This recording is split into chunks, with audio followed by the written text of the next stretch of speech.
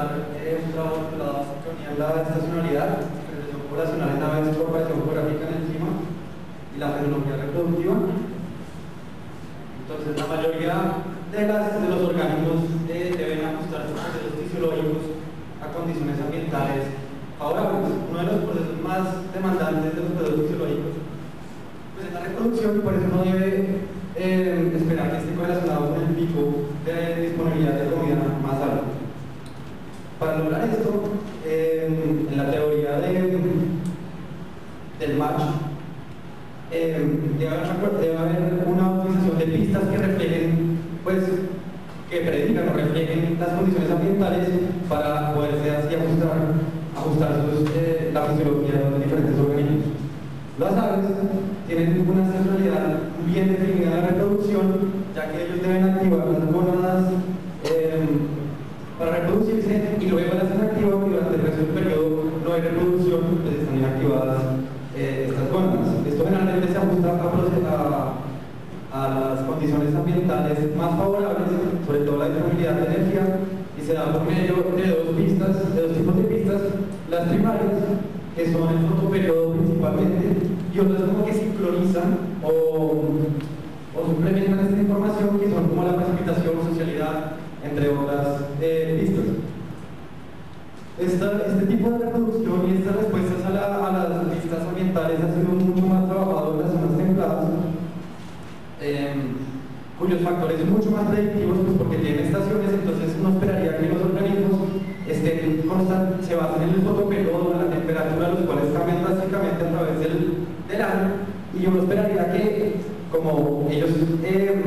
ajustan su temporada reproductiva a estas pistas, haya una sincronía a través de, una, de un gran área en la zona, en la zona templada, es decir, todos se están reproduciendo generalmente pues, al mismo tiempo, eh, generalmente. El trópico, por otro lado, aunque hay muchos que dicen que el trópico, si vemos, es mucho más constante, igualmente las especies tropicales, pues en pájaros tienen una estacionalidad definida en la fenología, sin embargo las pistas como fotoperiodo o temperatura que cambian en las zonas templadas drásticamente, pues se vuelven difíciles de usar y muchas veces se correlacionan ya con los con los pues con las con las condiciones ambientales favorables. La precipitación que está eh, muy ligada digamos, a la disponibilidad de insectos y de otros alimentos en el trópico, se vuelve entonces la pista principal con la cual ajustan sus procesos eh, de fisiología reproductiva de los pájaros eh, en las zonas tropicales. Sin embargo, dado que la precipitación es una pista que puede, que puede cambiar mucho a través, a través de distancias cortas, mucho más heterogénea, eh, uno podría esperar que la sincronía entre las temporadas reproductivas sea mucho más baja en el trópico, ya que se está basando en una pista que, cambia, que puede cambiar entre lugares de distancias cortas. Es un ejemplo un video en el cual eh, pues podemos ver cómo sincronizan simplemente el volumen testicular, es la activación de las gonadas, una rapidez de la creación de las gonadas, y cómo está ajustado a las temporadas secas, y cuando inicia la temporada lluviosa, ellos activan las gonadas. Esto es simplemente para que vean, lo va a pasar rápido, cómo cambia eh, la precipitación en el año, y es simplemente para que vean, pero como en el, en el, trópico, una forma en que es muy heterogénea la precipitación en algunos momentos del año, hay una gran sequía, mientras que hay una línea clara que abajo se encuentra una mayor cantidad de lluvia y cómo esto cambia a través eh, del año. Es simplemente un ejemplo para mostrar la heterogeneidad en la, la precipitación. Eh, muy colaborador es hacer un estudio en el Ecuador, en el país Ecuador, en el cual encontramos dos poblaciones que se encuentran a 25 kilómetros de distancia y tienen patrones de, de precipitación diferentes, poco petrones, y encontraron que debido a que las, la precipitación es diferente, tienen una, una tienen una fenomenología reproductiva asincrónica y esto dio lugar a una diferencia cultural,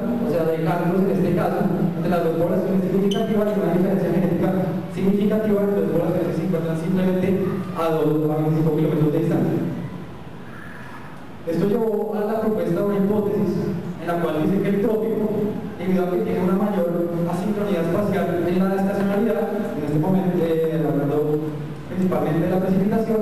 puede llevar a que poblaciones específicas no se estén reproduciendo al mismo tiempo en lugares cercanos, lo que puede llevar a un reducido flujo genético, lo que puede llevar eh, a diferenciación poblacional y potencialmente a especiación. Esta hipótesis tiene algunos supuestos, como que las poblaciones eh, tropicales tienen una estacionalidad en sus ciclos de vida, lo cual ha sido probado pues, ya en muchos estudios.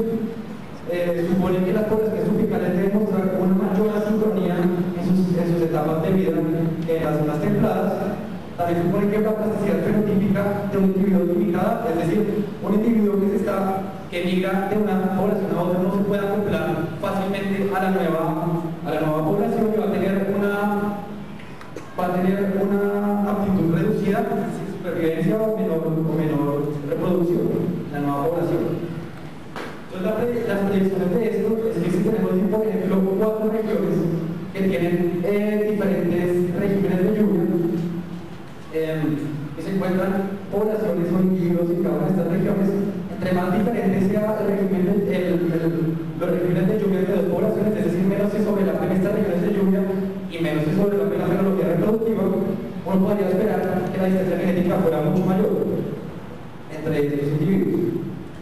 Por ello, uno podría esperar una relación positiva entre la diferencia en la fase de la precipitación y la distancia genética entre estos dos organismos. Esto corrigió claramente por los efectos que pueda tener la distancia geográfica. La metodología que usamos, pues por cuestiones de tiempo no puedo ir en muchos detalles porque cosas me pueden preguntar, pero principalmente hicimos una recopilación de la literatura de 74 especies, más o menos aproximadamente 1.600 individuos, eh, a través de todo el continente americano y obtuvimos la secuencia mitocondrial y su localidad donde fue eh, muestreado. Calculamos las distancias genéticas de cada uno de estos individuos, pues de cada uno de estos individuos, eh, obtuvimos también los datos climáticos de la página web a una resolución de 0.5 kilómetros por 0.5 kilómetros del continente americano, luego esto se procesó el programa ARCHIS para tener así eh, todo el continente americano, cada uno de estos puntos tiene la localidad y la precipitación por mes. Luego, para poder sacar las diferencias entre, entre los climas, lo que hicimos fue dividir el continente americano en mil regiones diferentes de precipitación y luego, por, por el método de coespectral de Fourier, pudimos sacar las diferencias en la estacionalidad de la precipitación entre cualquiera de estas mil regiones. Entonces, con esta metodología ya tenemos las distancias genéticas entre los individuos y las, distancias en la precipitación entre cada uno de los individuos, ya que a cada individuo lo asignamos a una de las mil regiones en las cuales vivimos en el continente americano. También para probar si la asincronía de la estacionalidad de la precipitación y la distancia genética se tenían algún patrón a través del eje latitudinal, se generaron como cinturones de 3 grados de latitud, eh, se acuerdan de estándar para cada mes, una media de esto, y esto se comparó con valores absolutos de la latitud para poder generar una también teníamos la distancia genética media entre todas las especies, la distancia geográfica, y con eso también lo pudimos eh, comparar eh, la distancia genética a través de cómo se comporta la distancia genética en, los grupos de a través de la latitud. Para finalizar y poder relacionar pues, la principal pregunta que es la, la diferencia en la precipitación, cómo se relaciona con la diferenciación poblacional o con la diferencia genética, hicimos unos cortes de dispersión,